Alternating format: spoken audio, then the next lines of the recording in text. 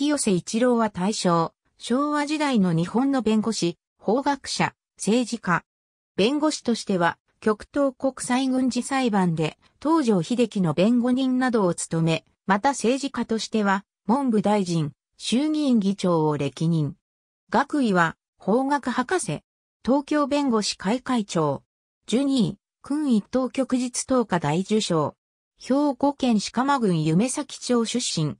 弁護士としては、古作葬儀裁判や思想事件等のほか、特許事件を多く手掛けて、著作物も多く、工業所有権法の分野においては、実務、学問の両面において、草分け的な存在であった。政界入りしてからは普通選挙運動の推進や、台湾議会設置運動への支援、治安維持法への反対などリベラルな政治家として知られてきた。しかし1930年代以降新軍派に転校死5.15事件の裁判において被告側の弁護人を務めた。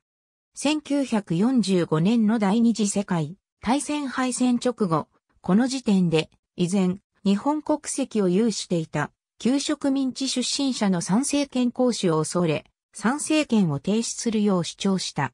清瀬の主張もあり、同年12月の衆議院議員選挙法改正により、参政権停止は実行された。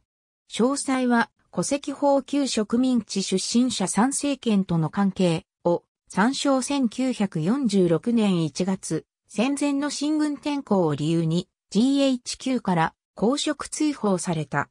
極東国際軍事裁判では、日本側弁護団副団長と東条秀樹、元首相の主任弁護人を務めたことでも知られる。追放解除後も憲法改正を主張するなど、典型的な戦前派の保守政治家と目されたが、清廉さを信条とするがゆえに、政界復帰後は、ハト派の三木武夫と行動を共にした。衆議院議長に就任した際も、公平さを期するためと党籍を離脱した。当時は、議長、副議長の党籍離脱は慣例化しておらず、清瀬の党籍離脱は異例とも言える。文部大臣の在任時に教育委員を公選制から任命制にした。それまで地方教育行政に関する制度の中核を定めていた旧教育委員会法を廃止した上で1956年6月30日に地方教育行政の組織及び運営に関する法律の交付が行われた。教育委員会の設置関係規定の施行も同日に行われた。同年10月1日からは、その他の規定も合わせて施行されている。地方教育行政の組織及び運営に関する法律は、新教育委員会法などと呼ばれることもある。旧教育委員会法は、教育委員会の委員を住民による公選としていたが、この法律では、地方公共団体の主張が地方議会の同意を経て任命することに改められた。安保条約承認に際して会期延長を宣言する清瀬。衆議院議長在任中の1960年6月19日から20日にかけて衆議院本会議で日米安全保障条約の採決が行われた。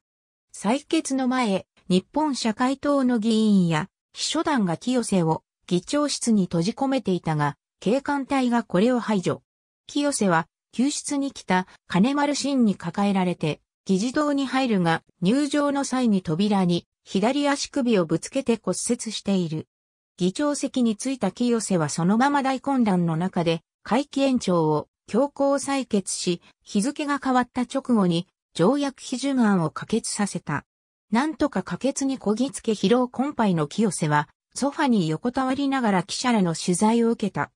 黒い霧事件など、政界の汚職事件については、自民党後期粛清調査会会長に就任し調査、粛党答申をまとめ政界浄化を訴えた。世界連邦運動の推進団体である、世界連邦日本国会委員会の第5代会長であった。1967年6月27日死去。去年83。衆議院議員選挙の当選回数は通算14回。後継者は秘書だった戸井田三郎、同じ選挙区の対立候補に同じ三木派の川本敏夫。